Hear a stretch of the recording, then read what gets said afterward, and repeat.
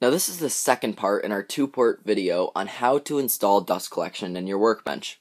Now in the first video, uh, we did basically all the pipe work inside the workbench. Uh, so now that's done. If you want to go back to the first video, click on the link that I'm going to put on the screen. Uh, and you can go watch the first video and then come back to this one. Uh, so in this uh, video, basically we're just going to be finishing up everything, adding the hoses, and uh, making some last minute additions. Alright, so this point right here is the dust collection in the uh, workbench now, and we need to get it to the dust collection port on the bandsaw. Now to do this, we're going to use a flexible hose, um, and that's going to go from here to the bandsaw.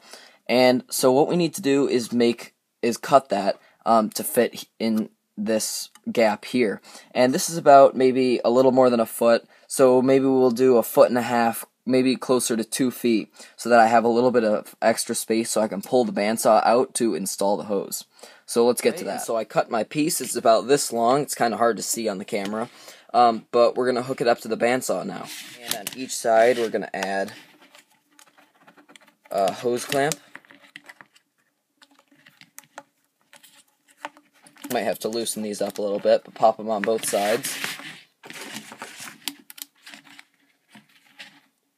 And now I've gotten this on the bandsaw. It was a little bit hard, but uh, I also put a hose clamp on there before, and I'm able to tighten this down.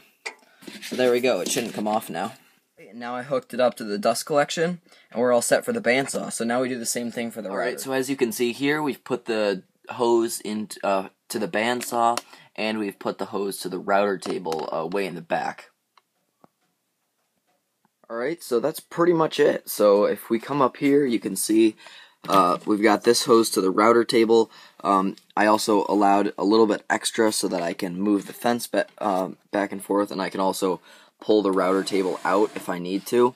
Um, and same over here, we have that hose hooked up, and it's really easy to um, use these tools. As you can see, the bandsaw blast gate is open right now, so if I want to use the router table, I just close this one, and then I usually reach underneath the router table and pull this one out.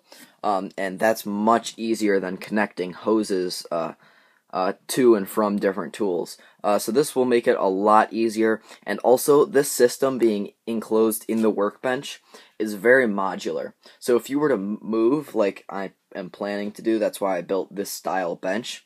Um, if I'm planning to move the bench in the future, uh, I can easily do that um, and hook it up to other workbenches like this one um, with the same dust collection inside, and that will make it a lot easier when I'm um, making a new shop if I ever do. Alright, now I thought I would share with you how this whole system works.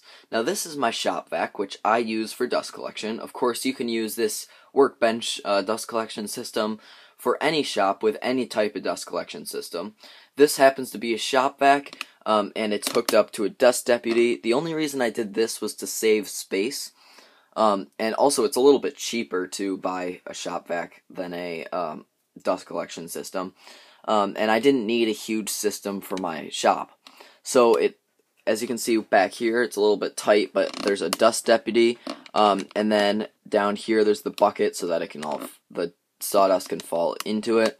Uh, that works really well. And then, as you can see in the background, there's that PVC pipe that runs over this way. It splits off two ways to go to this bench or this bench, and then it rises up, um, up into the bench over here, and this is the stuff that we installed.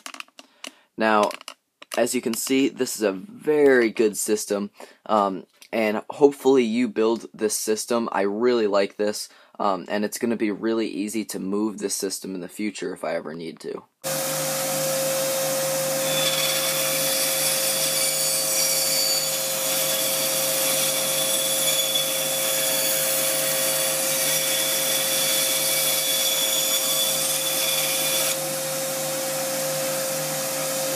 Alright, now that pretty much wraps everything up.